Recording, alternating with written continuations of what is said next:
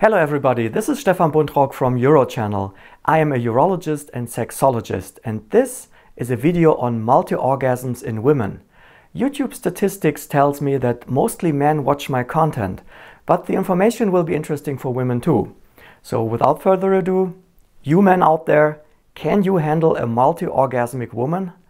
I will give you an overview of this topic from the perspective of the sexologist. Please take the time to watch all of the video because you will need some basic information first.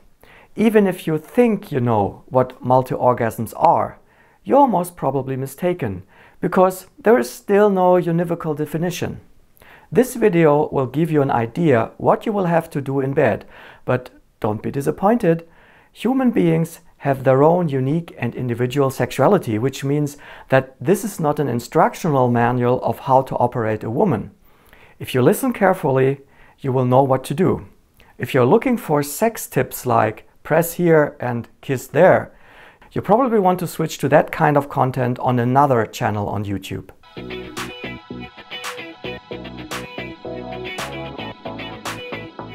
Actually, this video is the sequel of the video on male multiple orgasms.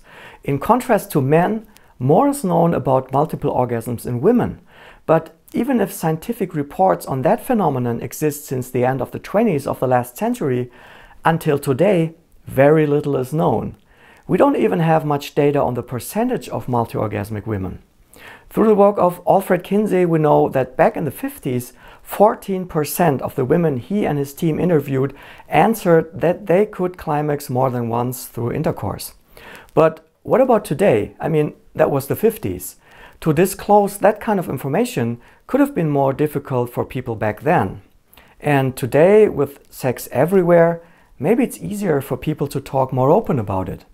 Or maybe not, since sex still is a big taboo in communication.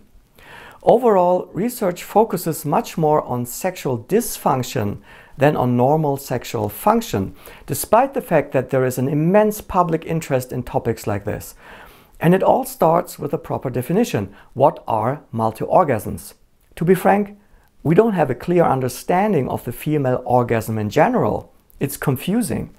There has been debate over clitoral orgasms, vaginal orgasms, mixed orgasms, coital and extracoital, etc., etc., in order to describe what is happening. The G-spot? Fact or fiction? But back to multiple orgasms. How are they characterized? What features do women display who are multi-orgasmic? When does it start in life? Have they always been this way? Or is it something that can be learned? Is this only happening with a partner or also during masturbation? Does it happen every time? How long does it take to happen after initiation of sexual activity? How many orgasms in a row are we talking about? Do they get more intense each time? How long do they last? Questions, questions, questions.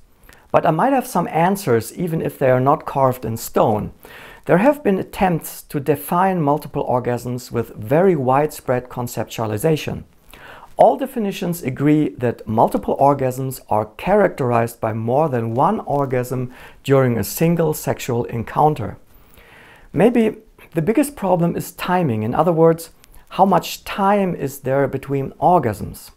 Kinsey notes that it may be a few seconds, sometimes up to two minutes, which is quite imprecise. In the 60s, Masters and Johnson defined two distinctive types, repeated and sequential orgasms. Repeated means several orgasms with a rest in between, but arousal not dropping below plateau level, whereas sequential is defined by a rapid progression of orgasms with arousal not dropping below plateau, or a single orgasmic period for 20 to 60 or more seconds. Even in this definition, timing is elusive. In the 70s, Hite came up with a definition that also included two types, sequential and multiple orgasms. The term sequential is used slightly different from Masters and Johnson in a sense that there is a necessary pause of not further specified duration in between orgasms. Hite considers multiple orgasms as continued events with uninterrupted stimulation. In 2008, Haining and colleagues came up with a time indication, 30 seconds or more, between orgasms and continuing sexual tension. To sum this up, the problem of defining multiple orgasms in women is that it is somewhat unclear how the timing between orgasms should be understood and whether there is continuous stimulation or not. I don't mean to bore you with this stuff, but it is very important to understand the problems in defining the phenomenon. It matters when research is done based on different definitions. Depending on how multiple orgasms are defined, the results will vary a lot. As you will remember, Kinsey was talking about a proportion of 14% multi-orgasmic women. In the sample of Darling and colleagues, who looked at 805 college-educated female nurses, the proportion of multi-orgasmic participants was as high as 42.7%. In 2020, Gerard and co-workers published a study in the Journal of Sex Research that was based on a survey they conducted online with volunteers from North America and the Middle East.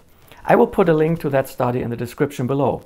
They intended to get a better grasp of what female multiple orgasms consist of, how they are characterized in terms of timing, partnered activities, stimulation types, etc. 1,351 women who considered themselves as being multi-orgasmic visited the platform, but not all of them completed the survey. That left them with 419 datasets for analysis. According to the type of context, they then formed three groups. Women who reported multi-orgasms predominantly through self-stimulation, which was 36%, women who needed the presence of a partner, which was 59%, and a small number of women with combined self and partnered stimulation, which was 5%. They ranged in age between 18 to 69 years with a mean age of 33 years. 66% defined themselves as heterosexual and 26% as bisexual. Their working definition of multiple orgasms was two or more orgasms in a single session without significant breaks. And here's in short what they found. The mean age of the onset of single orgasms was roughly 14 years, and it took quite a while for the first multiple orgasms to occur, at a mean age of 19 years. Women in the solo group experienced their first multiple orgasms two years earlier as women in the partnered group. I think it's not very surprising that there was more control over the ability to reach multiple orgasms with self-stimulation than with partnered activity. The typical number of orgasms in one session was a median of three. If you are not familiar with statistics, mean and median are related measures. The median value is more robust when it comes to extreme values that are outliers. And in multiple orgasms, there were outliers.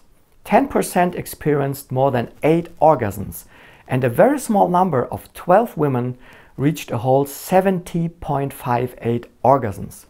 Interestingly, with 39.5 years, they were also the oldest women in the sample. This is an interesting finding as it contradicts the common assumption that age is inversely correlated to orgasmic capabilities. Furthermore, there is a theory that orgasm is partly learned and that it may involve developmental learning. This finding might give some support to this approach. The most important stimulation type that was reported of half was manual clitoral stimulation. Penetration was the second important, followed by vibratory stimulation. Significant differences were found in intensity between the first and second orgasm according to group membership. In self-stimulation, there was a decrease in intensity. In partnered stimulation, the intensity of the orgasms increased. For male standards, it took a while to get there. From stopwatch studies in men, we know that the intravaginal ejaculation latency time, the IELT, ranges between 5.4 to 6 minutes. That's median values. This means that it takes 5 to 6 minutes for a man to ejaculate once he has penetrated his partner. Guess how long it took the women in the study to reach their first orgasm? Of course, as you might have expected, it took much longer roughly 13 minutes in partnered sex and 7 minutes in self-stimulation. After the first orgasm, 58% continued with stimulation, whereas 20% had to pause for 1 minute and 12% had to pause for 2 to 3 minutes. The second orgasm was then reached after roughly 4 minutes in partnered activity and nearly 3 minutes in solo sex. If there was a pause in stimulation, it took a little longer. Okay, let's do some math here. It takes about 6 minutes for a man to climax and 17 minutes at a minimum for a multi-orgasmic woman to reach two orgasms. Assuming a median of 3 orgasms, we are talking about 20 minutes minimum here. This requires a lot of communication between the partners because compatibility is an issue. Now ask yourselves, do you know whether your female partner is multi-orgasmic? Do you know what she wants you to do to satisfy her? And this is a very important point. Many men falsely believe that a large penis is the holy grail to a woman's sexual fulfillment. Think again. Size is most probably not what's required here. It's communication skills instead, because with six minutes, most men are not even close to impress their partner. This is why I said in the beginning that there are no sex tips one can give in a video. What you need to do is something you will have to figure out by yourselves together with your partner. So back to the main question, timing. A break in stimulation, how much time are we talking about? In the study, roughly half of the women classified as multi-orgasmic according to the definition of Hite, meaning that they experienced two or more orgasms without interrupting stimulation. If there was an interruption, it lasted from 1 to 3 minutes for 80% of the women, and this means that a significant break means no more than 3 minutes between the first and second orgasm. Any questions? Put them in the comment section. I will try to answer as many of them as I can. Don't forget to subscribe. Thanks for watching. Bye bye.